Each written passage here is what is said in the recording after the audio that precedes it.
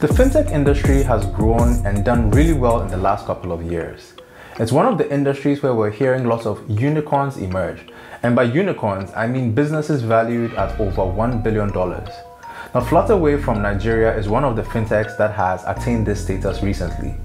Despite the pandemic last year, fintechs not only survived, but they actually thrived, and it's evidenced by investors committing over $44 billion to fintechs in 2020. All of a sudden, with the advent of technology, finance has become cool again, and increasingly more and more millennials are looking to work in fintech as a career option. But what kinds of skills are most sought after by fintechs? In this video, I will highlight some of the most in-demand skills that you can acquire to make yourself attractive to the fintech industry. Stay tuned.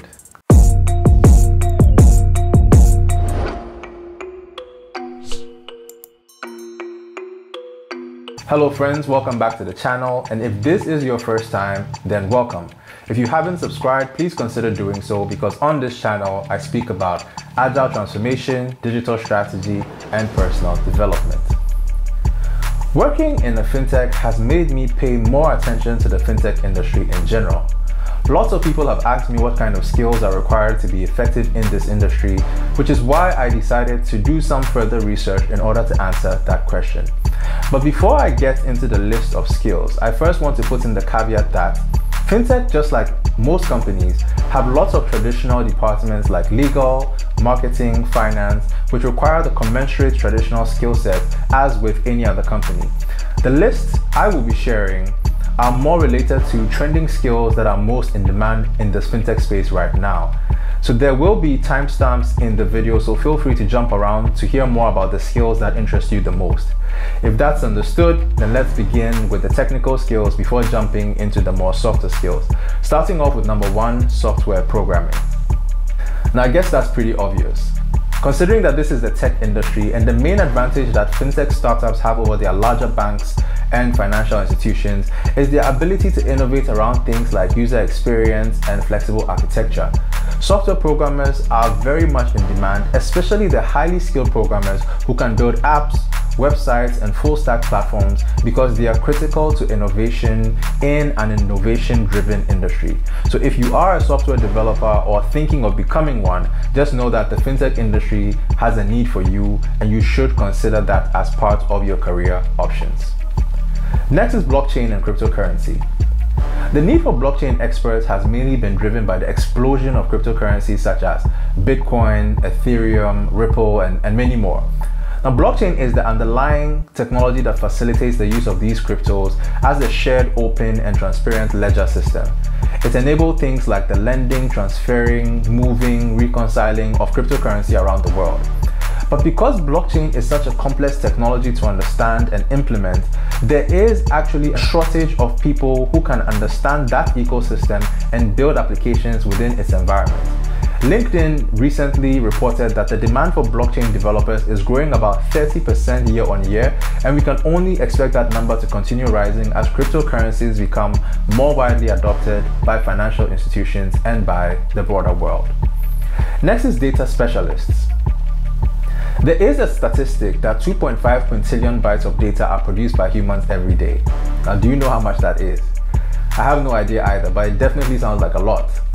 Now to break that down, 1.7 megabytes of data is created every second and it's estimated that 90% of the world's data was created in the last two years alone. Now, as technology redefines financial services, it creates huge amounts of useful data that needs to be analyzed and interpreted.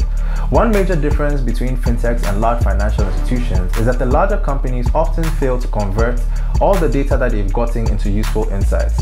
Therefore, people with expertise in data science, machine learning, artificial intelligence, big data are essential to help companies make sense of the raw data and to draw insightful conclusions about their customers. Cybersecurity because a lot more financial institutions have gone digital and are using the internet to facilitate their processes and to offer their services, a new breed of cyber criminals has emerged. Fintech startups have been especially vulnerable to attacks of cyber criminals, which can have severe impact beyond just losing money. Information can be lost, it damages your reputation, and it can lead to strained business relationships. Now, because of this, cybersecurity experts are very much sought after by fintechs and financial institutions in general to help them safeguard their systems from cyber criminals and from hackers, and also protect their customer transactions and funds. As cyber criminals get smarter, institutions are also seeking out highly skilled cybersecurity experts to combat the rise of cyber criminal attacks. Financial knowledge. Now, considering that fintech is still predominantly targeted at offering financial services, having financial literacy is key to understanding and contributing to the ultimate goal of the fintech. So, having financial services expertise, probably from your prior work experience, helps a lot, or having those business analysis skills that allow you to translate problems that exist in the traditional financial services so that the technologists can understand is a very good skill to have if you want to be attracted to the fintech industry. All right, now jumping into the soft skills. Fintech companies also value these soft skills as an important asset that they look out for when they're recruiting, and the first would be communication skills. All the technical skills aside, it is very important that you are able to get your point across in a clear and concise manner. You need to be able to communicate effectively with your team, to brainstorm ideas, and to collaboratively solve critical problems. In some cases, you will be engaging with partners and serving as a representative of the company externally. Hence, fintechs look out for people with strong powers of oratory who can represent them the right way. So you need to be a good communicator. If this is a skill that you want to work on, maybe you should consider joining a Toastmasters club. Creativity and problem solving. The fintech industry and startups in particular face a lot of technological, legal, and regulatory challenges and just unexpected events. Professionals in the fintech industry are required to have analytical and critical thinking skills to help them solve some of these unexpected problems. It's important to have that creativity and problem solving ability to be able to break down these large problems into smaller, more manageable tasks so that they can be solved more efficiently and effectively. Adaptability and flexibility. The fintech industry is rapidly changing and often it's a volatile environment. Professionals in this space need to be able to adapt to the rapid pace of change and have the flexibility to pivot and change direction or strategy as the need arises. You can't afford to remain entrenched in traditional practices because what worked in the past may not work in the future.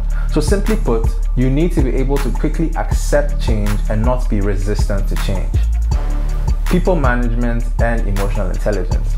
Now, in the fintech space, you will most likely be working with agile and cross-functional teams and also with vendors and different partners. You'll be working under pressure with tight deadlines, and in order to get work done, you need to be able to maintain good relationships with your partners and your co-workers in order to get the best out of them and deliver your work on time so you can achieve your goals. Being able to work well with others and having that emotional maturity and intelligence is considered an asset by recruiters in the fintech space. So friends, those are some of the top technical and soft skills that are sought after by the fintech industry. If you found this video useful, give it a thumbs up and if there are any key skills that you feel are left out, feel free to post them in the comment section. And until next time, have an amazing week and cheers guys.